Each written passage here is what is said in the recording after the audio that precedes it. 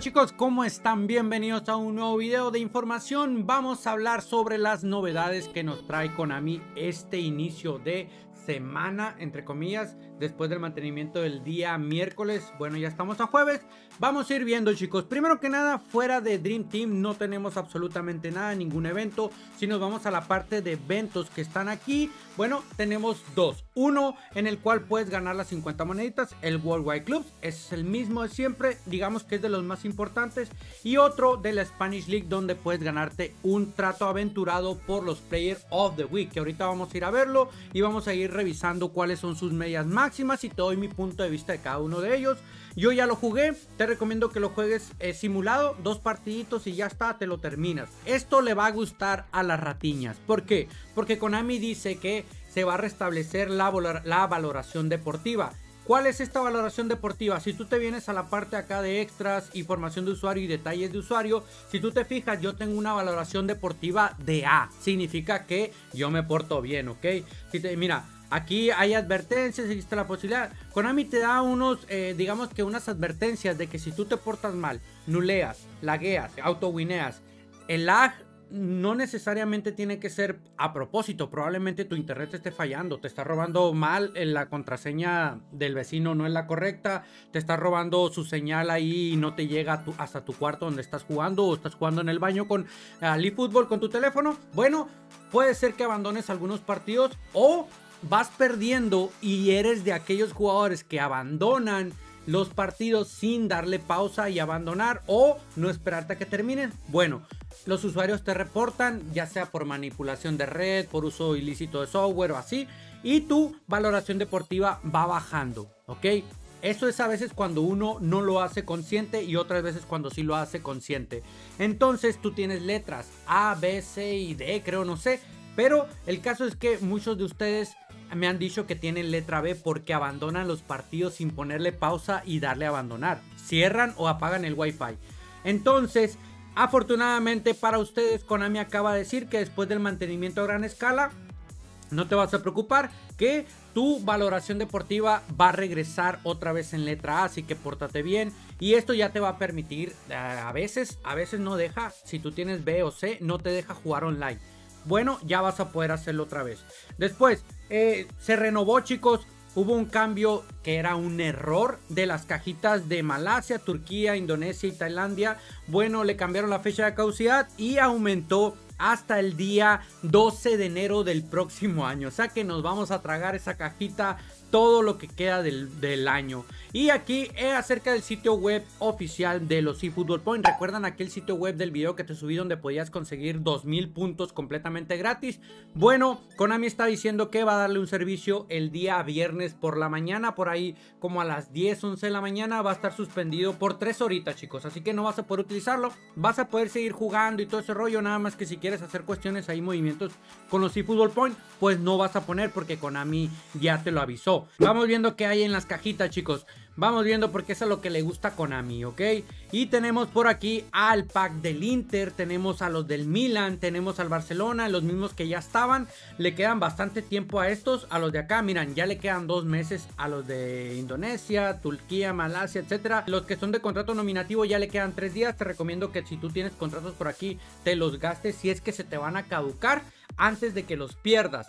Y también tenemos Player of the Week, los cuales ya no me aparecen porque ya hice mis aperturas que te las voy a subir en otro videito. Pero vamos a la aplicación de IFJ23. Siempre les digo cómo se llama. Aquí en la parte de arriba, aquí, a un lado de mi nombre, dice, ah, ok, con el dedo, bueno, no sé, así, no, así. Eh, EFHub23. Aquí vamos entrando y aquí vamos a ver las medias rapiditos. Hubo dos, dos sorpresas aquí. Una, Piqué. Muchos esperaban a De Jong porque hizo, metió un gol, pero Piqué eh, apareció. Y vamos viendo que está bastante interesante este Piqué. Eso sí, la aceleración está bastante mal, es muy baja, pero en cuanto a lo demás, está muy chetado, sube tres puntitos, regularidad firme, no está nada mal. Tenemos a Luke de Goat, Luke de Jong, que también no te dejes engañar porque también está interesante. ¿eh? Tiene una media de 94, una finalización de 85, buen cabeceo. La velocidad está normalita, buena resistencia, muy poca aceleración.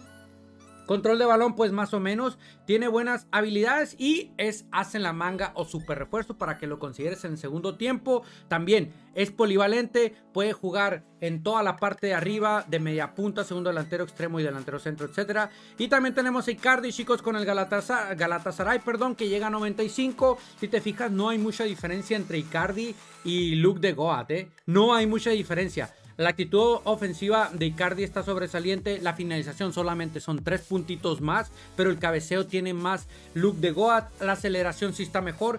Pero la resistencia está mejor look de Goat. Y aquí, bueno, Icardi, un hombre de área, regularidad normal, no esperes mucho, solo puede jugar como delantero centro. Ah, ah.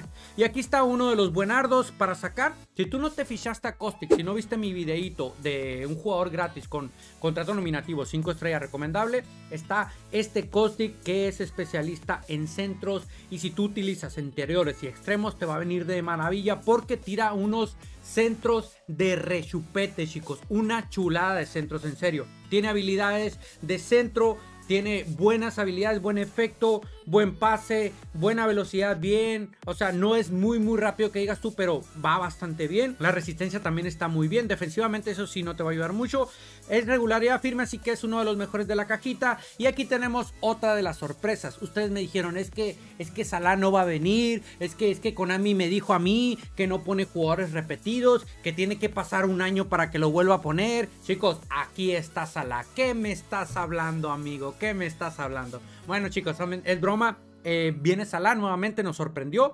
Yo la veía difícil que lo, que lo pusiera de nuevo, pero lo, lo puso. O sea, cazagoles también, regularidad firme, actitud ofensiva a tope, finalización brutal, velocidad, equilibrio. La resistencia sí está un poquito bajita, pero no está nada mal. Y pues chicos, ¿qué les puedo decir? Un Salah, el cual ya te hice un review. Te voy a dejar el video en la descripción, una pestañita eh, ahí en el videito. Y listo, ahí está. También tenemos aquí un cojo David López del Girona, aparentemente que llega a 90.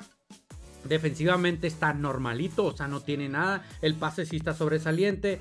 La, ¿qué más? Y es todo, ¿eh? El pase nada más y la defensa está muy normal. Espero que no te salga el cojiño este. Tenemos al portero también por aquí que llega a 92. Otro portero también normalito, incluso es más abajo de lo normal. Tenemos también aquí una de las sorpresas, un Arnold falso, el cual es un medio centro, pero vean, puede jugar medio centro defensivo, medio centro, media punta, segundo delantero y llega a 93. Ve esos números, ese pase, ese control, balón parado, efecto, potencia de tiro, Resistencia está muy bien. La, velocidad es normal para un jugador medio centro. Y chicos, es, yo creo que esta es una de las sorpresas. No te sientas mal si te salió. Habilidades, centro con rosca, pase cruzado, pase en profundidad, tiro larga distancia, disparo descendente, disparo ball, disparo sin rotación. O sea, es una delicia este Arnold falso. Si te tocó chicos, bien no te sientas tan mal, que es uno de los mejorcitos de la caja, ya que están súper lamentables. Y vemos aquí Magaláes, un jugador que a mí me, me decepcionó, chicos. Ve esa defensa. Es que no tiene nada sobresaliente para tener una media de 96. Checa los números y nos vamos y revisamos al cojiño este aquí, a David López. Son muy similares. O sea, los números en defensa son muy similares. Y este tiene una media de 90. Y viene Magaláes con una media de 96. Y está súper lamentable. La verdad es que es una de las decepciones. Este Magaláes. Y también tenemos por acá a un ala móvil, el más Recuerdo que era medio centro en el PES 21, el cual puede jugar medio centro, media punta, interior y extremo izquierdo. Buen control de balón, buen pase. No es el más rápido, pero bueno, ok. Tal vez este lo quisieras probar tú de media punta, ya que tiene centro con rosca, pase primer toque, tiene dos toques y habilidades de pase solamente tiene el centro con rosca. Me refiero para que si atacas por la banda y tiras centro, bueno, no esperes mucho. Regularidad normal, esta F y tenemos a mi toma, un creador de juego que es interior yo no sé para qué Konami pone creadores de juego como interior y como extremo. Para mí es un desperdicio. El cual es un jugador normalito, no tiene nada sobresaliente. Solamente tiene paso, un poco de control. La velocidad de aceleración está relativamente bien, pero tiene poca resistencia. Tiene centro con rosca, pase primer toque, dos toques, remate primer toque. La verdad es que tiene habilidades, pero como para utilizarlo de media punta o algo así, porque de extremo y de interior la verdad es que no me convence para nada. Y pues chicos, ahí están, estos son los Player of the Week, un poco lamentables. Y listo chicos, pues damos por culminada la temporada número 1. Se fueron todos los eventos de iniciación y todos los eventos y las cajitas y los épicos que iban a salir,